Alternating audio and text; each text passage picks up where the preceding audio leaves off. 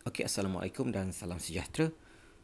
Pada perkongsian video kali ini adalah E90 323i yang akan tukar minyak enjin dan minyak gearbox. Model ini menggunakan gearbox GM 6 HP. Okey, ini adalah proses membuang minyak dan ini adalah oil filter baru yang kita akan masukkan dan ini oil filter housing yang kita akan clearkan sepenuhnya. Ini adalah minyak GM gearbox tadi. Okey, kita akan buang minyak dari enjin dan dari gearbox. Proses ini mengambil masa dalam lingkungan sejam iaitu tukar minyak gearbox dan tukar minyak enjin. Okey, ni kita tengok minyak ni pun dah kotor dan memang selayaknya kita perlu servis selepas anggaran dalam 40,000 km. Okey.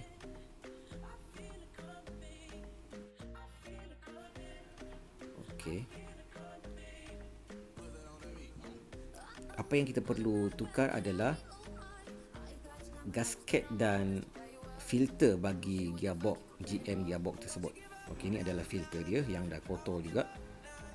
Dan kita akan masukkan filter baru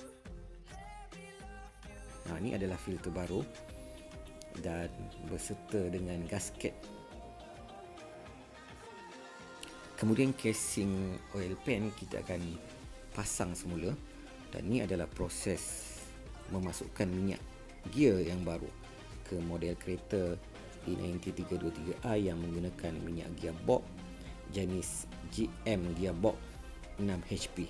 Dan proses terakhir adalah cek aircon bagi uh, kereta ini.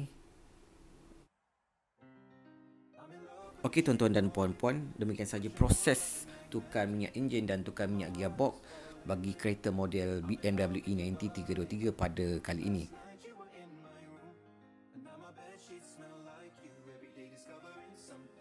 Itu saja perkongsian pendek pada kali ini. Semoga dapat berjumpa lagi di post-post akan datang. Jumpa lagi. Assalamualaikum.